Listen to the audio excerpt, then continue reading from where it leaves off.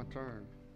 Uh, I'm Gerald Thompson. If some of y'all haven't met y'all before, but uh, I'm not the regular pastor up here. Okay, and Brian needs a break every now and then, and we're not even on the same level. So he's like really, really good, and we've uh, can't wait to get him back next week.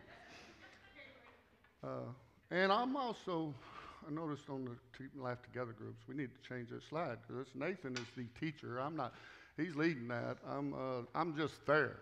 So just make sure y'all realize if you come to me, I'm going to guide you straight to him. So uh, it's, been, it's been wonderful. And I, Mark, uh, I'm going to say something here about Mark. Uh, I hear there's rumors saying that he's going to join our church, which, if y'all don't know Mark, yes, if y'all don't know Mark, I mean, if y'all, some of y'all have heard his, his um, message up here, and it's just been wonderful. Lord speaks loudly through him. We're glad to have him, and can't wait to hear from him too. So, uh, you did it how many years? How many years was you over it? Oh, yeah, it was amazing. That little white church, a beautiful white church. I, remember, I, I went one time. I wasn't. I was pretty young in my uh, faith, and uh, but I went to watch you with Brian one time. It's, it's that little white church. Everybody knows that little white church over by Best Buy over there. It's, it's like, wow, this is amazing. It looks like a, the, the, best church in the world right there. Just, it is so cool. Uh, okay, let's started, but let's go to the Lord in prayer. Dear Heavenly Father, we thank you so much for this day. Thank you for allowing me to get up here. You know, I just pray that your Spirit will just speak through me um, don't don't let my my stupid opinions come out on my opinions. Just let it be your word, Lord. Let it let it be smooth. Open our ears up. Let us hear what you have to say to us. Um, just thank you so much. And thank you so much for us being able to welcome my brother Harrison. That's an amazing, um, that's amazing. It's so wonderful to see a brother come into faith and uh, we just can't wait to watch him grow with your word. And uh, we're just, we're proud of him and we thank you. Lord, we say this in your precious name, Jesus. Amen. Yes, welcome, Harrison. Let's, let's give him, let's praise the Lord. Uh, my last sermon, I preached about Gideon, who is a member of the Hebrews Hall of Faith. It's sometimes I'll say actually say fame, but uh, it is. A, everybody knows. A lot of you know that Hebrews 11 is a uh, listed of a bunch of members that have done some faithful things during their times. And uh, today I want to talk about another member of the Hall of Faith, and, uh, but his name is not mentioned in Hebrews 11, but his faithful experience is listed, and that faithful experience is listed as shut the mouths of lions. Does everybody know who that might be? Yes, Daniel. Yes, the, one of the most famous stories in the Old Testament. Some people could say David, and some people could say Goliath. I mean uh, Samson, because he, you know, both of them fought lions. It's in the Bible; they fought lions. But as we read Daniel, uh, we definitely see that uh, he shut the mouths of the lions. The Lord, the Lord did. So uh, I want us to focus. There's some essential elements for us to have this kind of faith in our walk. Because um, Daniel has such a faithful walk, and I want us to focus on three, three elements of that. The first element is Daniel knew God's word. And Daniel obeyed God's word. Did he sin? Yes, yes, he sinned. Okay, but, but he was overall, knew God's word, strongly knew God's word, and he obeyed God's word. Israel and Judah, they didn't have, they didn't have the same Bible we have to learn God's word. But God didn't just leave them hanging out in the middle and, you know, hey, you're my people, you're here, but you just need to know what I'm going to say. No, he gave them the Mosaic law, which had laws and sins and sacrifices. And, but God gave them, also gave them prophets. These prophets would speak, proclaim God's word. Jeremiah was probably the most famous prophet during that time, or the main prophet. Um, and in Jeremiah 27, Jeremiah was prophesying that God was going to turn over Judah to um, Babylon, and told, but told everybody, "You will not be harmed if you submit. But if you resisted, you would meet destruction." But there was also some false prophets saying just the opposite. In Jeremiah 27 14, they were telling Judah, You will not serve the king of Babylon, for they prophesy a lie to you. Now, most theologians had Daniel about 15 years old during this time. So he's a young teenager. Uh, probably, you got to say, probably patriotic too. I mean, and it, we, as we read later, he was a good, well built teenager. Um, probably from working hard. He didn't wait, lift weights that day, but they were bulked up from working out and doing hard work and labor. So, and they were just good looking and wise and sharp. We see that later. But, but at 15 years old, it'd be easy to be confused. Wait a minute, I got one prophet saying, God's saying for us to go to Babylon, resist, give up, and because it's a judgment, it's going to be God's wrath. That's God had profi- um, he had prophesied that in the Old Testament. They'd been prophesying that, and it's time, and I need to go with them. But, but, but this other prophet over here, he's saying, no, we won't, we won't do that. Uh, so at this young age, it'd probably be easy to be confused. But so how did Daniel, you know, know which one was real, which one, which way to go? But it's the same as today. We all depend on the Holy Spirit to teach us, to convict us, and guide us through reading God's Word. We must always be concerned, discerning and vigilant when it comes to what we hear and what we believe. We must compare everything with the Word of God and the testimony of our Lord and Savior Jesus Christ. We should always examine the fruits and the motives of those who's teaching us. Uh, that includes me. you know, uh, you, would, you just don't. If I say something that's not against the word, believe me, it was a mistake. So come to me. Hey, show it to me because I'm fully with the word. And that's, we have to do that. We have to do that. Um, Daniel, he depended on the Holy Spirit just as we do. Jesus tells us in John 16, 13, the Holy Spirit will guide us into all truth. 1 John 2.27 says that the Holy Spirit teaches us all things and is true. Another thing we see, we'll see about Daniel, he was a praying warrior, and we can be rest assured that he prayed for wisdom during his troubles. Daniel was obedient to God so off to Babylon, this 15 year old kid went. The second thing I want to see with Daniel's faith was he was committed to wholeheartedly walk with the Lord. Let's open our Bibles up to 1, Daniel 1, starting with verse 3.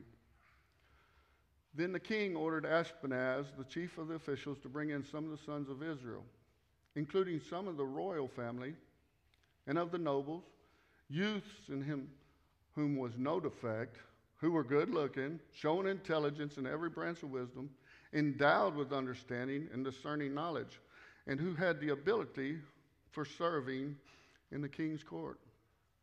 And he ordered him to teach them the literature and the language of the Chaldeans. The king appointed for them a daily ration from the king's choice food and from the wine which he drank, and appointed that they should be educated three years at the end of which they were to enter the king's personal service. Now, among them were the sons of Judah, were Daniel, Hananiah, Mishael, and Azariah. The official, uh, the, the, then the commander of the officials assigned new names to them, and to Daniel he assigned the name Belteshazzar, Hananiah Shadrach, Mishael Meshach, and Azariah Abednego. But Daniel made up his mind Daniel made up his mind that he would not defile himself with the king's choice food or with the wine which he drank, so he sought permission from the commander of the officials that he might not defile himself. We can see this 15 year old was all in from God from the start because he had his mind made he would not defile himself eating clean food. Daniel was led off to Babylon as a slave and probably witnessed execution of anybody that was rebellious. Yet Daniel was not concerned with pleasing the king. He was and he wasn't scared of execution. He was concerned with pleasing God. Most of us have not experienced this type of trial in our lives. Daniel, probably at this point of his life, had not experienced this. He's 15 years old, but he had his mind made up. He, I mean, that's just amazing. But he had his mind made up before he got to Babylon. It wasn't, this wasn't something that, well, let me think about this and I'm going to pray about it. No, he had his mind made up. For us to have that faith, we have to, too, make up our minds. Are we going to wholeheartedly walk with Christ during our hard trials? A lot of Christians in this world really haven't made up their mind and they're straddling the fence. And those Christians are referred to lukewarm in Revelation 3:16, and we know what Jesus is going to do there. Jesus says in Matthew 6:24, "No one can serve two masters, for either he will hate one and love the other, or he will be devoted to one and despise the other. You cannot serve God and wealth." Trying to walk with Jesus and the world is like taking a step to God and step, step to the world. Now, where are you going to go? You know, I'm going to the hospital. Where I'm going. we have to follow, to follow Jesus, we have to step towards him and walk with him and not look back at the world. You remember that old, God, this is, this was a really cool story because that old, here a while back I was reading and uh, man, I remember the old gospel, um, I decided to follow Jesus. It was, it was like Billy Graham's day. I mean, it was, I remember Mama watching that, and I remember that song. It was like really cool. So, no turning back. Yes, but so that song, I was reading this story how it came apart, about, and I was like, this is really cool. This is a cool story. And I got to investigating it and looking at it to see, is this a real? Is this a real story? And uh, it's all over the web. And I just can't believe I had never seen it before. Didn't know this. Even then I went in, put it in uh, YouTube, and boom, it comes up. The, I was going to show a video, but under some copyright stuff, we wasn't able to do that. But uh, I want to tell y'all this story. About 150 years ago, many missionaries came to northeast India to spread the gospel. That area was full of tribes who were primitive and very aggressive hen hunters. These missionaries were not welcome, and most felt or met defeat and death. But one missionary succeeded in converting one tribesman, his wife, and two children. Through him, others in that village began to accept Christianity. Ooh, but this angered the village chief. And he summons all the village, villagers together, demanding that the family who had converted them to renounce their faith before them in public or face execution. Moved by the Holy Spirit, the man instantly begins saying these words I've decided to follow Jesus. There is no turning back. No turning back. The chief was enraged and ordered for his two children to be shot down with arrows. As both boys lay dying, the chief asked him, Will you deny your faith now? You've lost both of your children. Next, you're going to lose your wife. But the man said these words Though no one joins me, still I will follow. There's no turning back. No turning back. The chief was angered further and ordered his wife to be shot down before him, and he joined her. She joined her two children in death. Now he asked for the last time, I will give you one more opportunity to deny your faith and live. In the face of death, the man sang the final lines The cross before me, the world behind. There is no turning back. no turning back. The man was shot dead like the rest of the family. But after their deaths, an amazing miracle took place. The chief who had ordered the killings was moved by the faith, looking at this dead family. And he wondered, why should this man, his wife, and two children die for a man who lived far away land some 2,000 years ago? The chief realized through the faith of this family and this man that God must be real. This Jesus Christ, who this man was willing to die for, must be real. And on the spot, reports tell us that the chief accepted Christ as his Savior. And throughout the following weeks and months, the rest of the tribes began to accept Christ as their Savior, all because one man and his family were willing to stand up and say, I've decided to follow Jesus. Though no one goes with me, the cross before me, the world behind me, there's no turning back, no turning back. Some amazing story. Now, Daniel, Daniel didn't know about the cross, but this was his song. He had decided to follow Yahweh, and there was no turning back. Daniel made up his mind to wholeheartedly walk with God before he was taken to Babylon, and there was no turning back. Paraphrasing verses 9 through 20, said Daniel granted, God Dan, granted Daniel favor and compassion in the sight of the commander and these officials. Daniel and his friends looked healthier, better nourished. They excelled in wisdom and understanding and just God gave them all kinds of literature and learning. It's amazing um, how the Lord blesses us.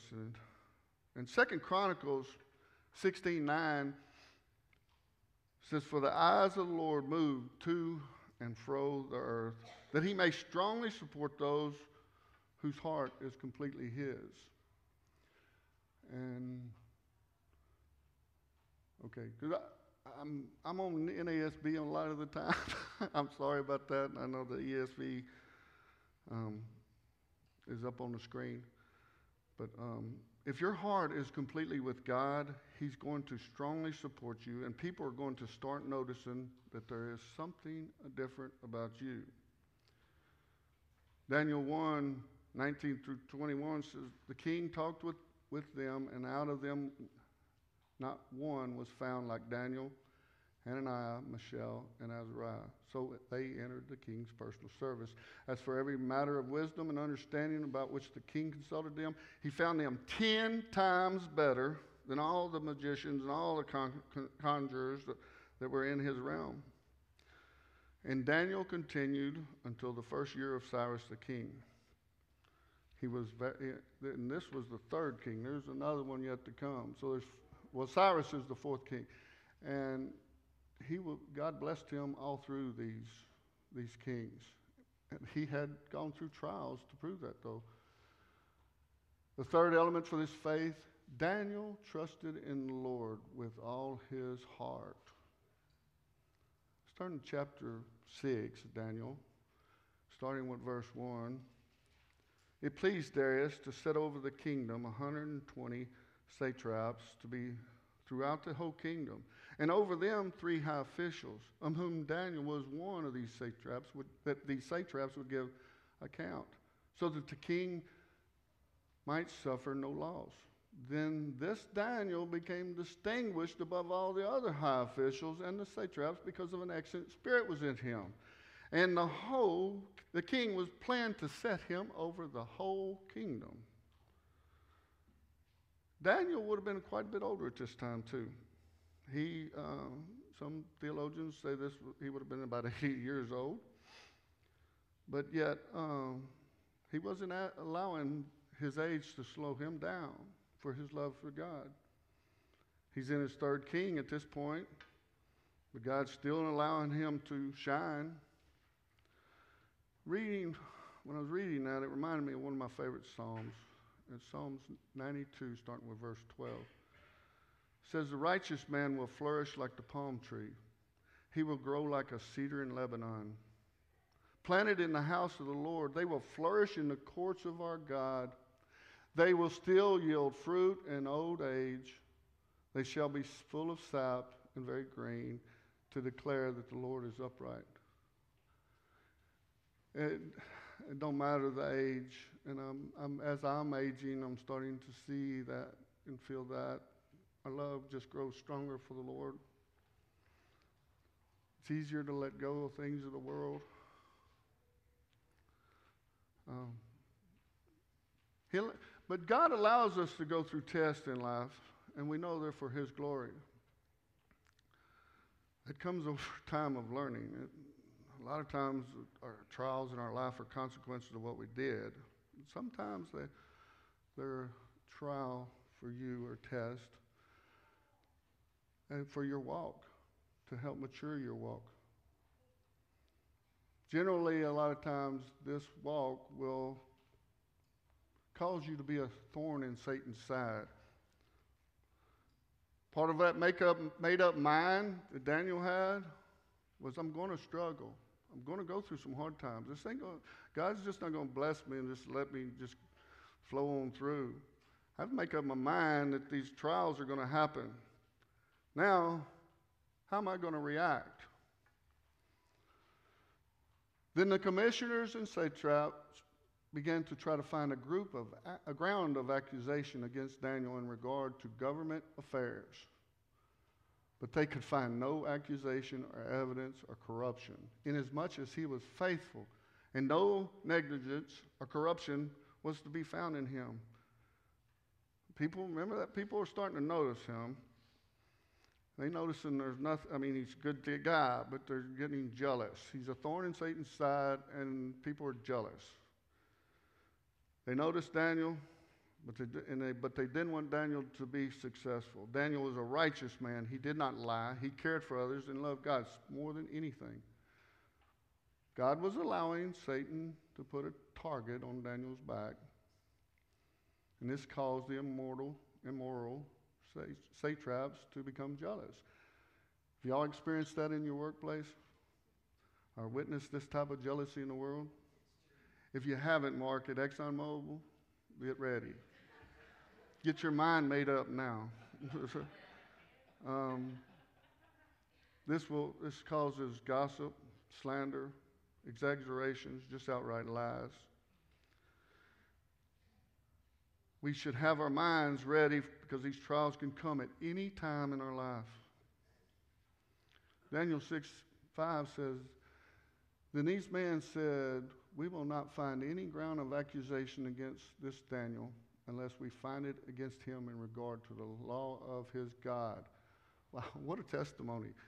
I mean, no dirt on Daniel. They can't find nothing. They, and they, they were looking, they were watching him. He's not having an affair.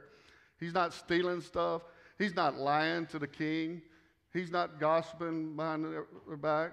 Nobody's heard any stories from him, you know, adding that gospel stuff, gossip. Um, the only way they're going to get Daniel is to find something to do with his relationship with God. Is, wouldn't that be amazing if the Lord could look at you? Uh, I just, I'm like, man, if he could do that with me, that would be so cool. I was just like, because they got some trash on me out there in my past. Uh, then these commissioners and satraps came by agreement to the king and spoke to him as follows King Darius, live forever. All the commissioners of the kingdom, the prefects and the satraps, the high officials and the governments, governors have consulted together that the king would establish a, a statute and enforce an injunction that anyone who makes a petition to any god or man besides you for 30 days shall be cast in the lion's den. Now, lion's den is a big pit, a big pit with a bunch of hungry lions at the bottom of it. They would keep these um, lions hungry so that they would feed on whoever they dropped in there quickly. And the fall itself probably would take, some, I mean, it was deep enough for the lions not to be able to jump out. Um,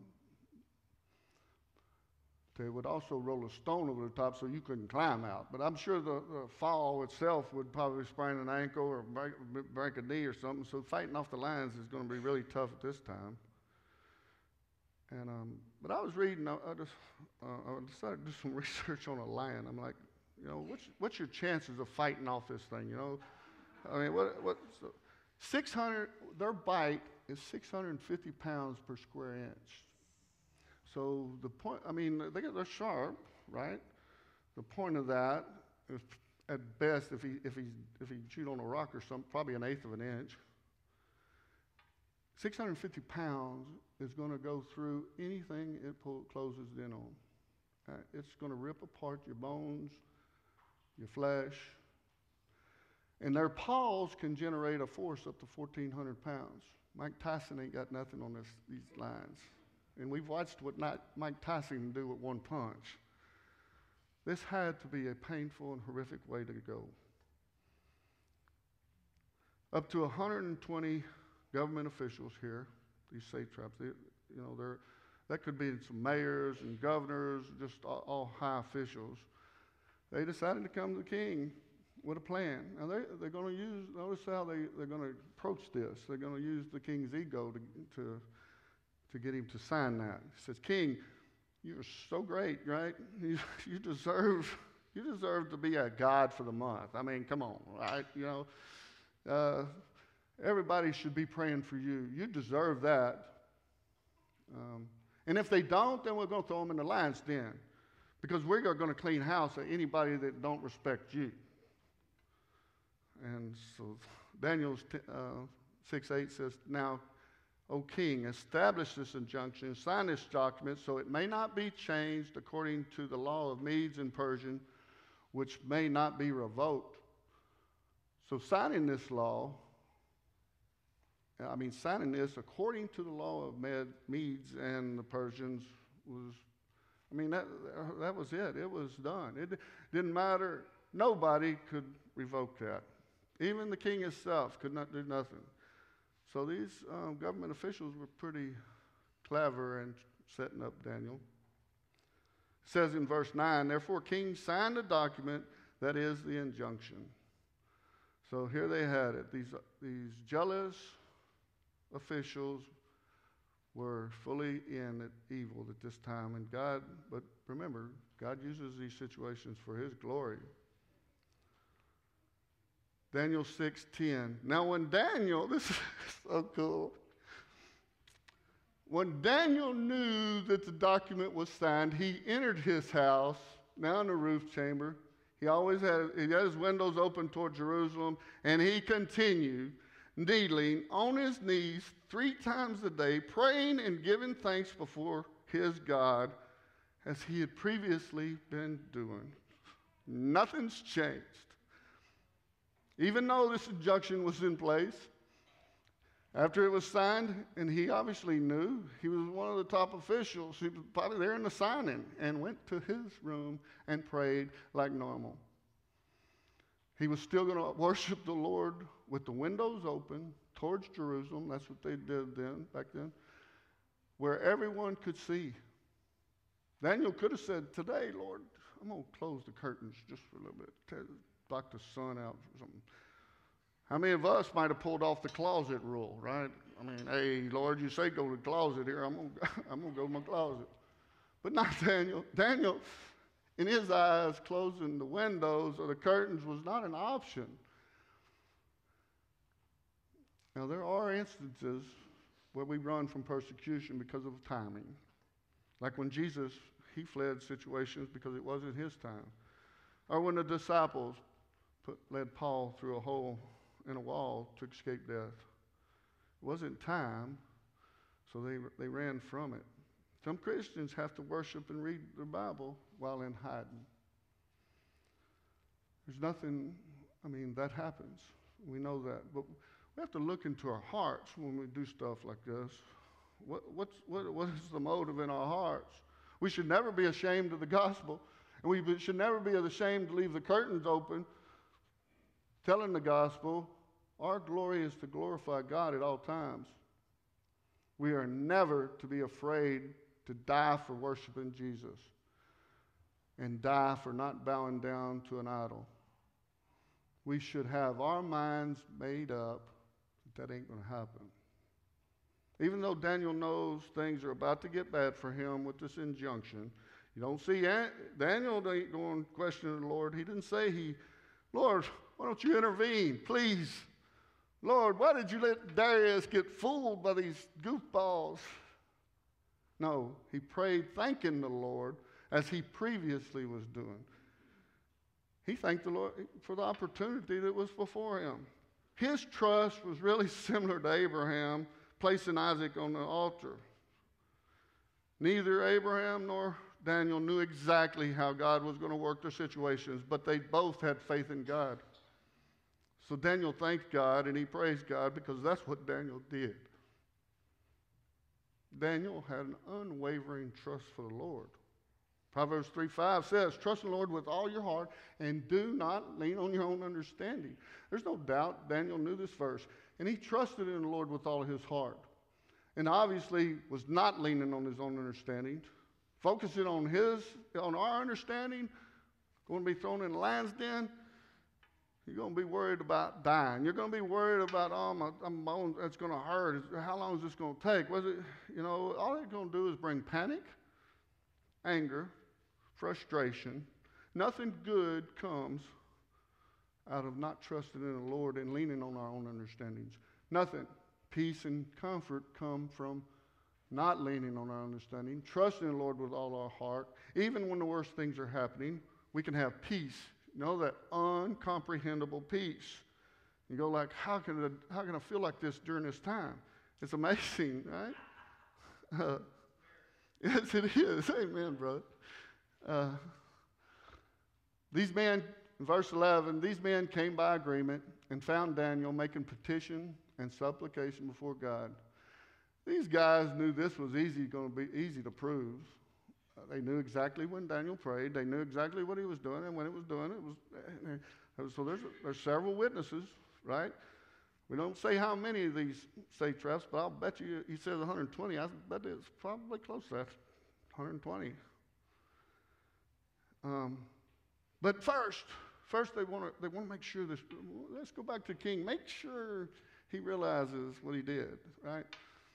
They approached the king and spoke to the king about the king's injunction. Did you not sign an injunction that any man who makes a petition or to any god or man besides you, O king, for 30 days is to be cast in a lion's den? Let's get, hey, you signed that, right?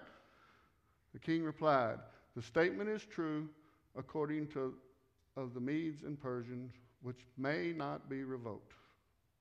Now they're going to drop the bomb on Daniel.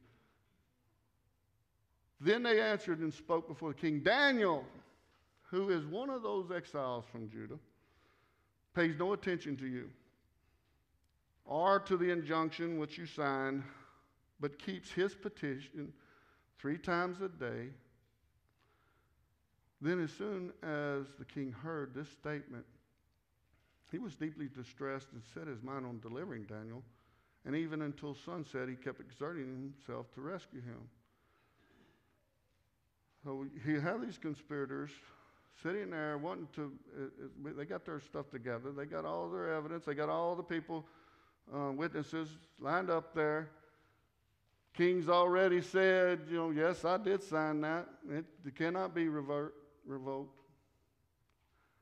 Um, but there's no doubt the king loved Daniel. There's no doubt. Um, but notice these all these all these satraps. Uh, government officials, they, they uh, call him an exile from Judah. So there was probably some um, thinking there, you know, look, hey, we're, we were born in Babylon. That guy was born over that trashy Judah area and should not be over us. Then these men came by agreement, verse 15, they came by agreement to the king and said, to The king, recognize, O king, that it is the law of Medes and Persians that no injunction or statute which the king establishes may be changed.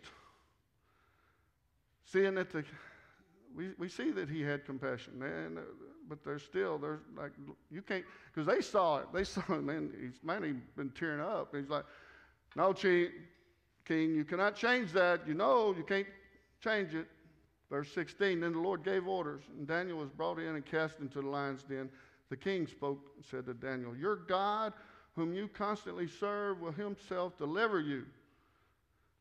The king was obviously had been getting developing some faith in the Lord because he probably witnessed several times God's power through Daniel. So he knew something was obviously going on, but he was still he was still scared. He was still worried. Um, And he probably at this time he's seeing I was set up. They, they kind of set me up. They knew I loved Daniel, and they just knew uh, this. He probably getting anger in his heart. Um, a stone was brought and laid over the mouth of the den. Now Daniel cannot climb out. Probably hear a bunch of uh, lions roaring or something. I mean, it, probably when they when they do drop somebody in there and them hungry lions do attack them, it's probably a lot of screaming and stuff going on. I, I don't picture Daniel was screaming, but there was probably a lot of roaring of lions and stuff. And uh, the king sealed it with his own signet ring, and, and uh, so that nothing could be changed in regard to Daniel. The king went off to his palace and spent the night fasting, and no entertainment was brought before him, and his sleep fed from him. Doesn't it say exactly if the Lord, I mean, if the king was praying to the Lord, but he was fasting. And uh, one could believe that the king was starting to see the light. And we know by the end of it he does. Daniel 6:19 says the king arose at dawn and to break of day and went to haste to the lion's den. When he, when he came near the den, he cried out to, in a troubled voice and said to Daniel, Daniel, servant of living God, probably in tears, has your God, whom you constantly serve, been able to deliver you from the lions? Then Daniel spoke to the king, Oh, king, live forever. My, my God sent an angel and shut the mouths, lions' mouths, and they have not harmed me inasmuch as I was found innocent before him, and also toward you, O king, I have committed no crime. Then the king was very pleased. and gave uh, orders for Daniel to be taken up out of the den.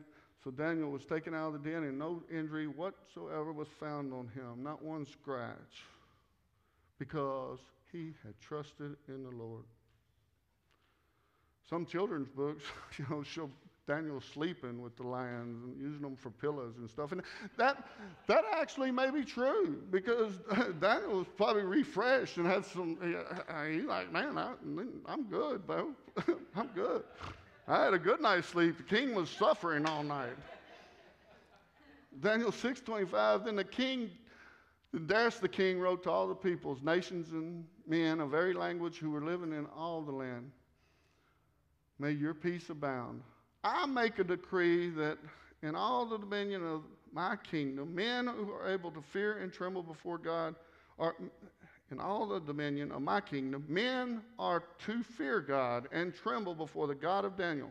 For he is the living God, enduring forever, and his kingdom is one which will not be destroyed, and his dominion will be forever. He delivers and rescues and performs signs and wonders in heaven and on earth who has delivered Daniel from the power of the lions. yes. So this Daniel enjoyed success in the reign of Darius and in the reign of Cyrus of the Persian. Now we know this is amazing, and, and the amazing part is the king got to witness this, so he's definitely like, "Wow, this is this God is real." Now we know that not all faith stories are like Daniel's. But we know that they are delivered.